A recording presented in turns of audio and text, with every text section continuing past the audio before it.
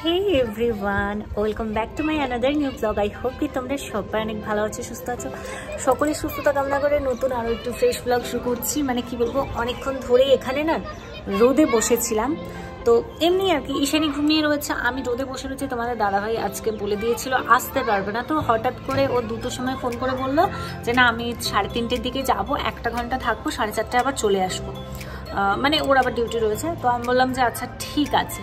তো আজকে কি জানো তো? আজকে হচ্ছে পৌষ সংক্রান্তি। ভাবছিলাম আর কি রোদে বসে বসে ভাবছি যদি বাড়িতে থাকতাম, তাহলে মানে আজকে সন্ধ্যাবেলাতে রাতে পিঠে হতো, একসাথে বানাতাম। আগের বছরে এই দিনটাতেই আমি, শ্বশুরমশাই আর শাশুড়ি মা মানে মা বাবার আমি তিনজনে মিলে নতুন উনুন বানিয়ে পিঠে বানিয়েছিলাম। আর তোমাদের দাদাভাইও কিন্তু আগের বছর এই দিনটাতে হ্যাঁ বাড়িতেই ছিল।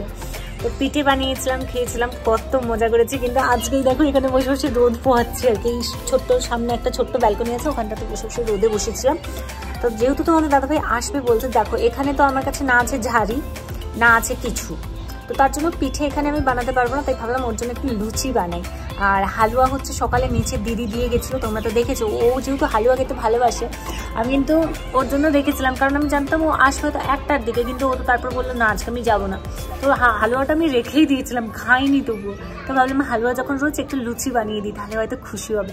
যদিও ও কিন্তু লুচি টুচি মানে এরকম ভিজি খেতে একদম পছন্দ করে না। তবুও একটু বানিয়ে দিই এক দিন তো সবাই খেতে পছন্দ করবে, তাই না? চলো, বানাই এখন বেশি কথা না বলে।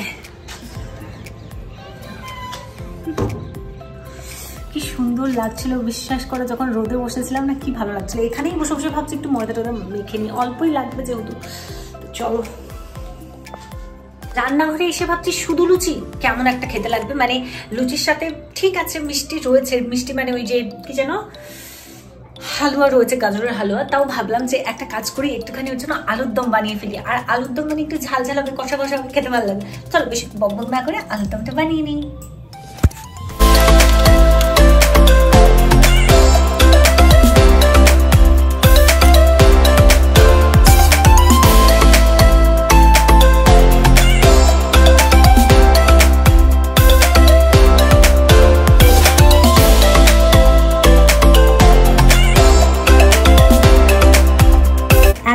হচ্ছে এখানে চলে এসেছি ময়দা নিয়ে।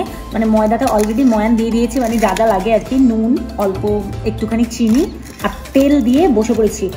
মানে ভালো করে দেখো যে ময়ানটা হয়ে গেছে, এইবারে জল দিয়ে ভালো করে মেখে নেব। আমি ভীষণ তাড়াহুড়ির মধ্যে রয়েছি, কারণ হাতে মাত্র আমার হাতে রয়েছে পঁচিশ মিনিট, আর পঁচিশ মিনিটের মধ্যে আমাকে পুরোটা কমপ্লিট করতে হবে।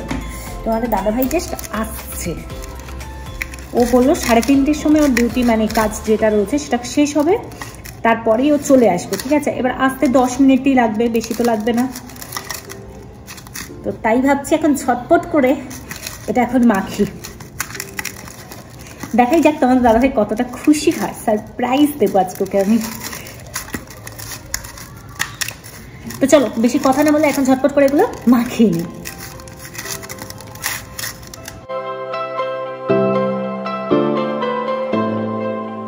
ওইদিকে ময়দা মাখিয়ে ঢাকা দিয়ে রেখে দিয়েছি। আর এখন এই যে চলে এসেছি, দেখো আলুগুলো একটুখানি, যেটা মানে ভাজার জন্য তখন ঢাকা দিয়ে গেছিলাম ময়দা মাখতে, তো এসে এখন উলট পালট করে দিয়েছি। একদম স্লো স্পিড মানে স্পিডটা একদম কমিয়ে তারপরে ভাজছি আলুগুলো।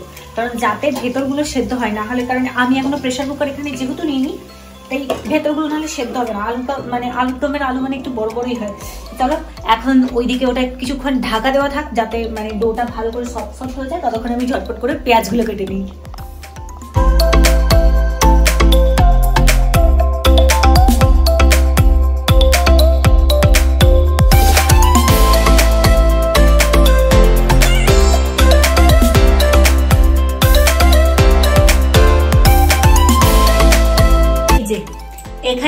পেঁয়াজ, টমেটো এইসব কাটছিলাম আর আমার একদমই মনে ছিল না যে আজকে নিরামিষ করতে হবে। তো তার জন্য রসুনগুলো কুচিয়েছি, ওগুলোকে সাইডে রেখে দেবো, জাস্ট আদা দিয়ে করব, আদা জিরে টিরে দিয়ে করব। আর আমি এদিকে কাটছি, ঈশানি ঘুমোচ্ছিল ভাবে, কি সুন্দর শান্তিতে কাজগুলো করছিলাম। তারপর দেখছি ঈশানি উঠে পড়েছে। উঠে পড়েছো? ঘুম থেকে ঈশানি উঠে পড়েছে। তো উঠুক, আর আজকে আমি এবার চলো মশলাগুলো ঝটপট বেটে নেব। আর এই যে দেখো, এইদিকে নতুন এই মিক্সার গ্রাইন্ডারটা কিনেছি। তোমাদের হয়তো দাদাভাইয়ের ব্লগে দেখেছ। চ্যানেলের নাম হচ্ছে হ্যাপি ফ্যামিলি রাজ, রিমি, আনি। এটা হচ্ছে আমার চ্যানেলে না মানে ওই তোমাদের দাদাভাই চ্যানেলে দেখেছ, এটার আনবক্সিং ভিডিও এই মিক্সার গ্রাইন্ডারটা নতুন কিনেছি। যে দেখো, এখনও প্লাস্টিকে মানে সব কভার করা আছে। আজকে এটাতেই মশলাগুলো এখন বেটে নেব ঝটপট করে। এগুলোকে ধুয়ে মানে আগে যেহেতু নতুন একেবারে গরম জল কেটেলে করে করা আছে, ভালো করে ধুয়ে ওটাতে চলো, এখন ঝটপট মশলা করে বেটে, নিয়ে আর অনেক সোনা উঠে গেছে, এবার ওকে আমাকে কলি নিয়ে কাজগুলো করতে হবে।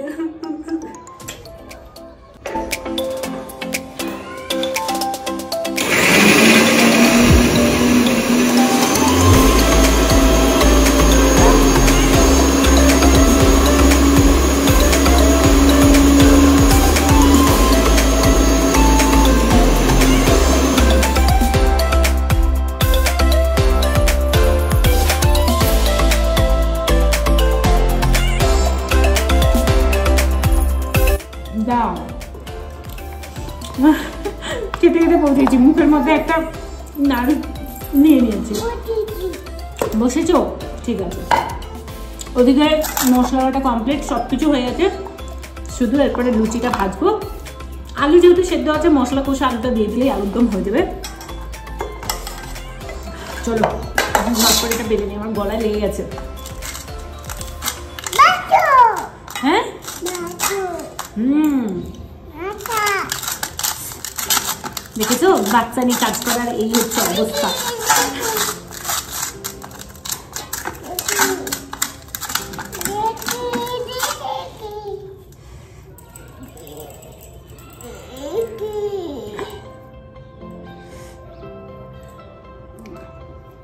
খুব একটা বেশি ছোট ছোট করব না তাহলে অনেক সময় লেগে যাবে।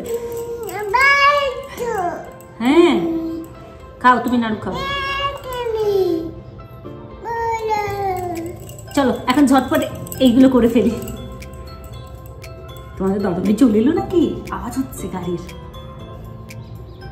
তাহলে আমার আর সারপ্রাইজ দেওয়ার হবে না।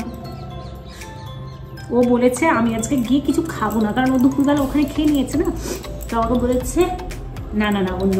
তো দুপুরবেলা বলল যে, আমি কিছু খাব না, কিন্তু এমনি যাব একটু দেখা করতে আর কি আনির সঙ্গে। তা ওর জন্য যে আমি এসব বানাচ্ছি কিন্তু জানেও না। তাহলে সারপ্রাইজ নষ্ট হয়ে যাবে আমার। চল এখন ঝটপট এগুলো করে নিই।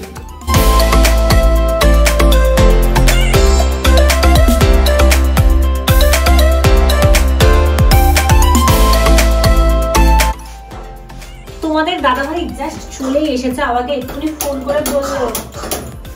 চলে এসেছি, তবে কি ও হেঁটে হেঁটে আসছে যেহেতু একটু আরেকটু সময় লাগবে হয়তো। আমি বললাম আমি চলে এসেছি। কি কি লাগবে? মানে ফোন করছিল, দোকান থেকে জিনিস আনতে বললাম কি হয়েছে? তুমি একটু দাঁড়াও মামা, নিচে দাঁড়াও, শোনো আমার। তো বলল, কি কি লাগবে? আর বললাম যে, যেগুলো যেগুলো লাগবে ওকে বললাম ও বলল ঠিক আছে, আমি কিনে নিয়ে আসছি। তো বেশি কথা বলা যাবে না চলো ঝটপট করে সবগুলো বানিয়ে ফেলি।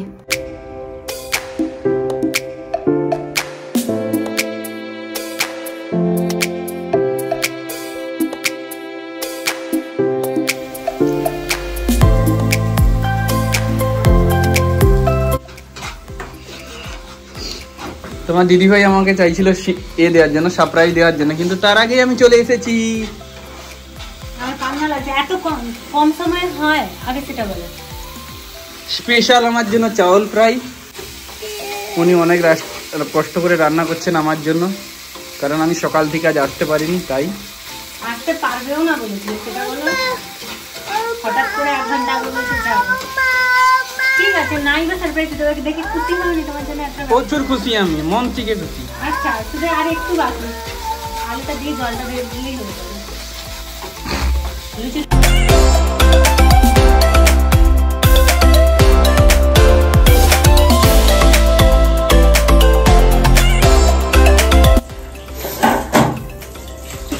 ওরা এখন বাবা মেয়েদের মিলে খেলছে আর আমি এদিকে বাসনগুলোকে ধুয়ে গেছি দুপুরবেলা মোটামুটি বাসন ধুতে কোনো অসুবিধা হয় না, কারণ দুপুরবেলাতে জলগুলো বেশ গরম থাকে।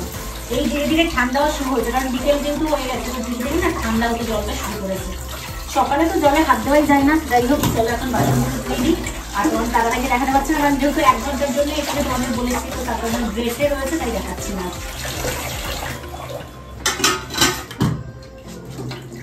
অনেকদিন পরে কাজল পড়েছে।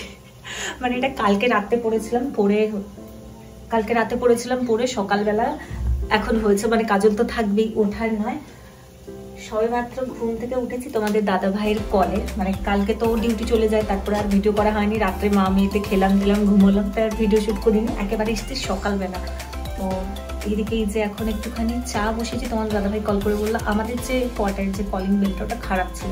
ওটাই লাগাতে একজন ভাইয়া এসেছে। তাই তার জন্য আমি যেখানে চা বসিয়েছি, আর সাথে হচ্ছে একটুখানি মানে একটু নাস্তা টাইপের হালকা করে আর কি করেছি। চল vlog দেখতে থাকো।